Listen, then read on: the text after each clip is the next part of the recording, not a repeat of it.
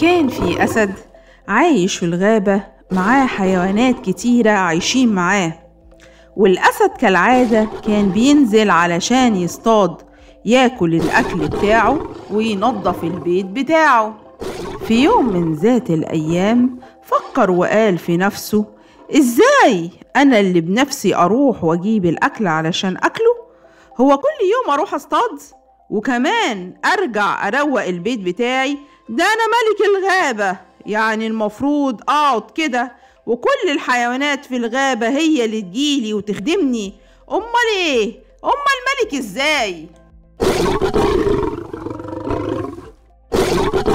يا حيوانات الغابة اجمعوا أنا صحيح أسد كبير وعظيم لكن كبرت وصحتي تعبت شوية ومبقتش قادر أصطاد وأنضف عريني علشان كده كل واحد في الغابة هيكون ليه دور علشان يأديه. ناس تروح تصطاد وتجيب الأكل لحد عندي وناس تنظف بيتي. فاهمين؟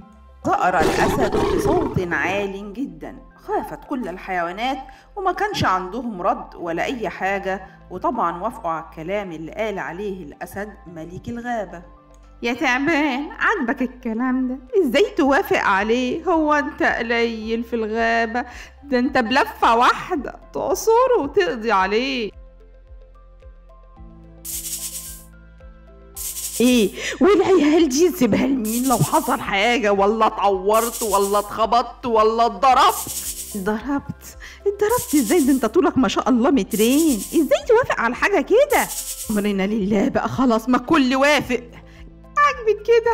عاجبكم اللي بيحصل ده؟ عاجبك يا ست يا زرافة؟ عاجبك يا أستاذ يا فيل بصراحة الوضع ده ما يرضيش حد هو عايزنا نخدمه لوحده ولا إيه؟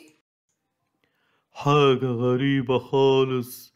أنا كمان ورايا أشغالي وحاجاتي وهو عايزنا ننضف مكانه ونجيب له حاجته. طب أنا أعمل حاجتي إمتى؟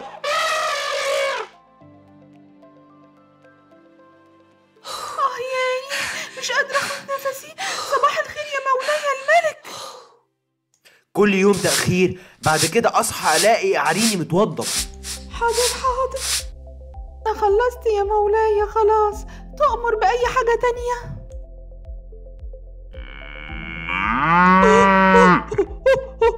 أنا من الفجرية شقيانة وتعبانة. سايبة عيالي في البيت تعبانين وجاية أهو بجري علشان ألحقك.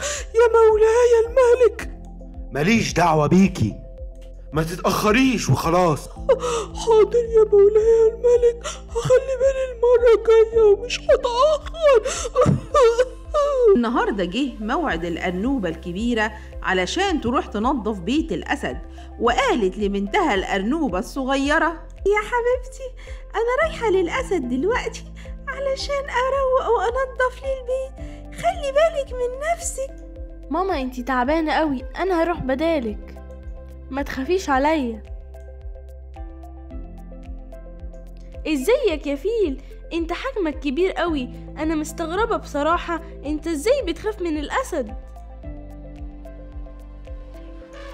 الأسد برضه ملك الغابة وإحنا كلنا بنخاف منه. وعشان كده لازم نسمع كلامه. بصراحة بصراحة أنا مش عارف أعمل إيه.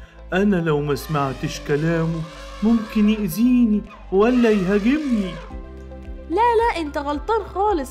لازم يخدم نفسه ولو هو فعلا عجوز وصحته تعبانة يبقى واجب علينا إن نخدمه. لكن هو بيضحك علينا وأنا النهاردة هديله درس يخليه ما يتحكمش فينا تاني خالص.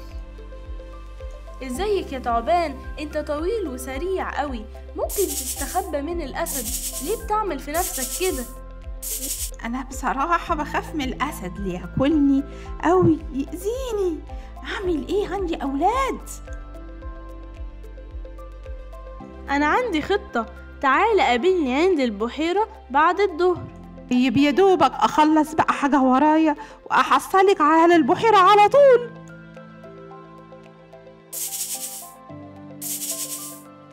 في انتظارك يا تعبان.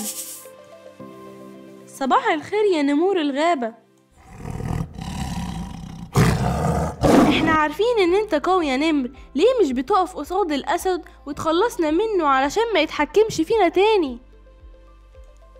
أنا نمر قوي صحيح لكن ده برضه ملك الغابة. ما نعرفش نقف قصاده. صباح الخير يا ملك الغابة. معلش اتأخرت عليك شوية. أصلي وأنا ماشية لقيت ملك غابة تاني. وطلب مني شوية طلبات. رحت جبتها له على طول ورجعت تاني. خد الأرنب الأسد للبحيرة علشان يوريه ملك الغابة التاني. يا ملك الغابة بص في البحيرة وهتلاقي الأسد التاني اللي قلتلك عليه.